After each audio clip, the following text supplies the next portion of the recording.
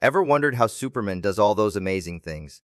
It's not just magic, there's some pretty cool science, or at least science we can imagine behind it. Let's start with that heat vision. Imagine his eyes are like tiny, super-powered solar panels, absorbing massive amounts of energy from our yellow sun. Then, he focuses that energy into a concentrated beam, like a laser, hot enough to melt steel. Pretty wild, right? Next up, flight.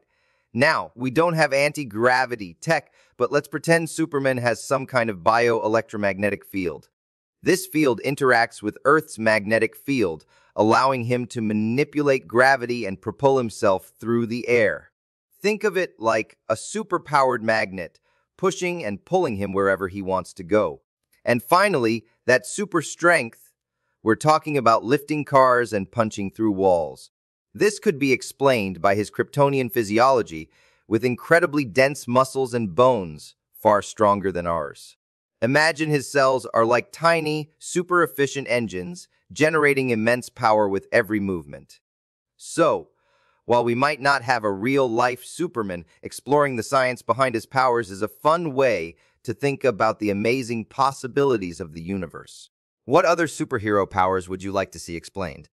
Let me know in the comments.